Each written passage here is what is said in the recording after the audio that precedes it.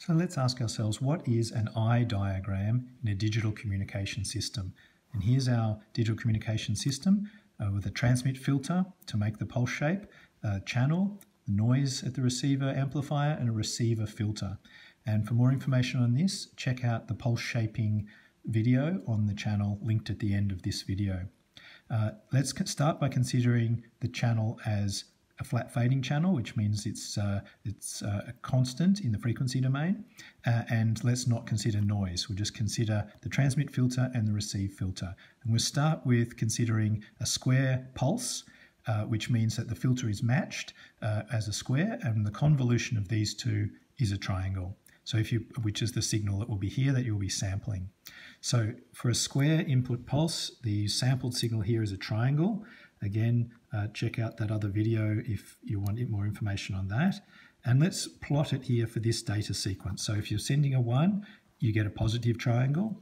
So another 1 in this particular data sequence example. When you send a 0, we're going to consider antipodal signaling, so a negative triangle for the, for the 0. And then in this example, we're plotting with a, a positive 1, followed by another positive 1, uh, followed by a 0. Okay, so this is a data sequence we're going to consider.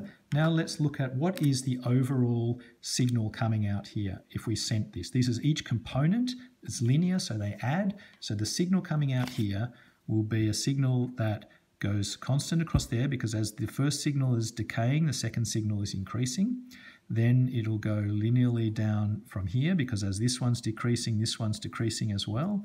And you can see that where this is zero, this is one, so it goes back up to there. In this sequence across there, again, back down to there.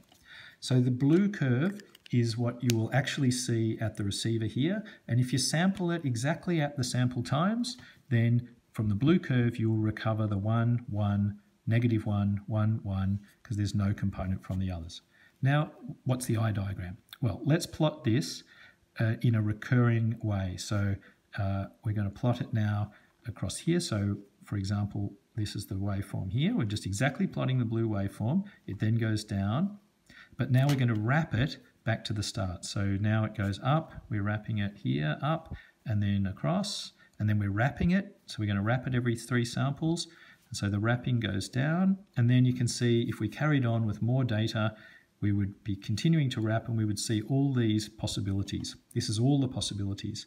And this is what's called the eye diagram, because this in the middle looks like an eye. Let's try and see why it looks like an eye a bit more detail and start by acknowledging that the square waveform is not a great waveform, uh, as was described in that other video, because it requires infinite energy. So we use a shaped pulse. And we talked about one there, which was the Gaussian pulse. So let's draw this for the Gaussian pulse. This is what it looks like. So what does the overall pulse shape look like here? Well, the overall pulse shape is going to be something which goes more smoothly between these points. Okay, so this is what the result of the Gaussian pulse shape is going to look like for the, the sequence that we had before.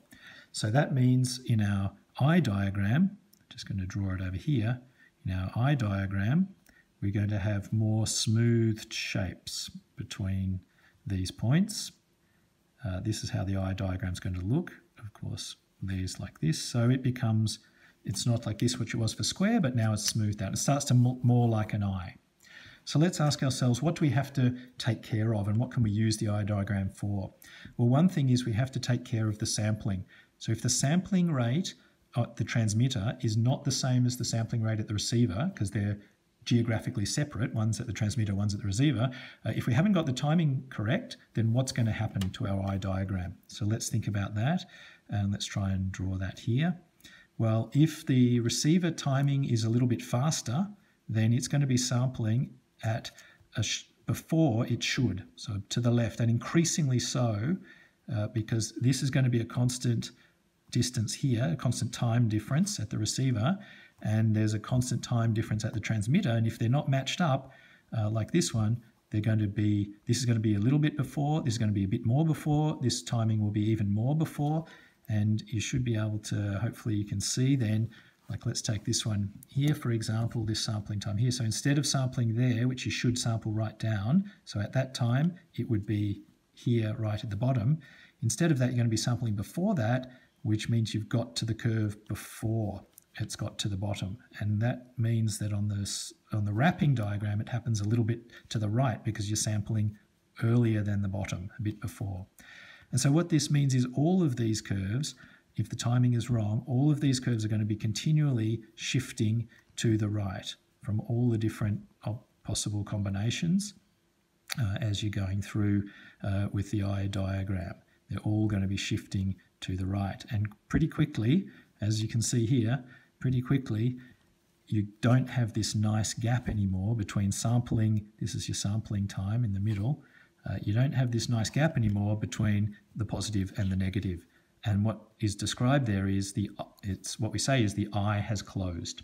So you can use this in practice by adjusting the timing clock at the receiver, looking at the signal there in a wrapped eye diagram, and for as you tune the timing, you will start to see the eye opening. It'll look like this until you've got the timing right, and then the eye will open.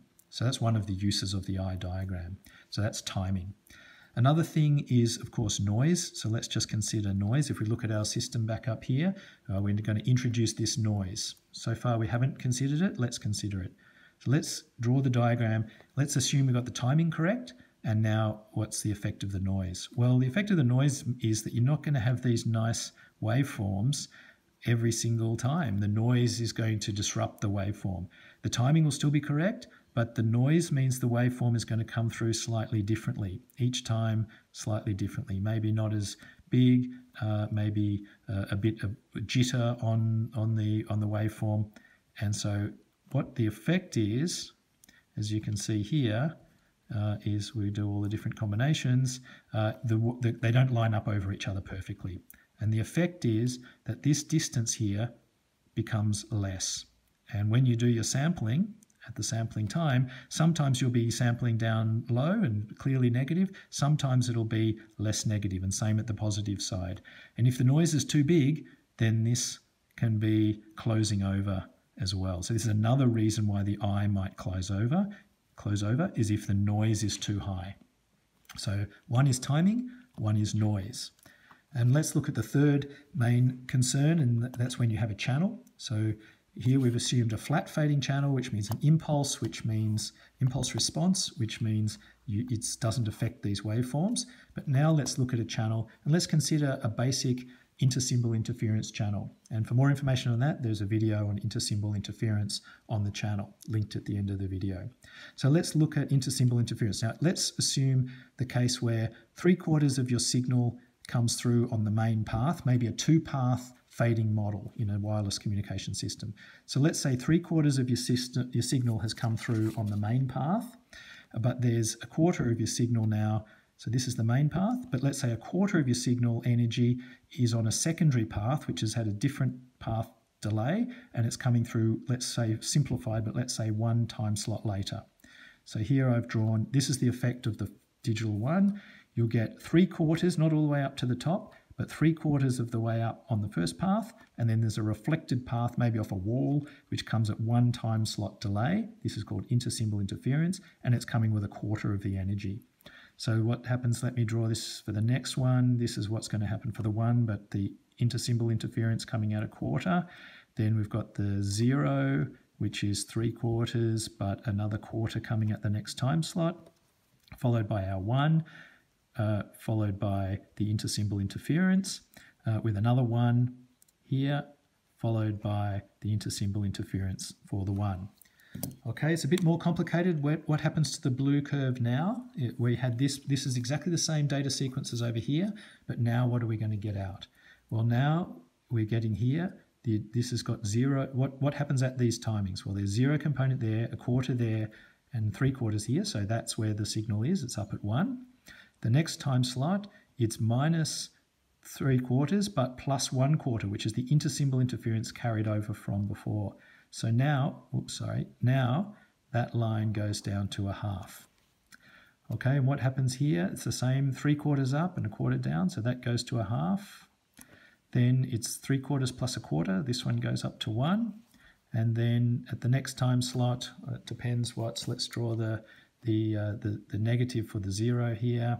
And this goes three quarters down, followed by another quarter for intersymbol interference. So this is going back to the, the halfway point here.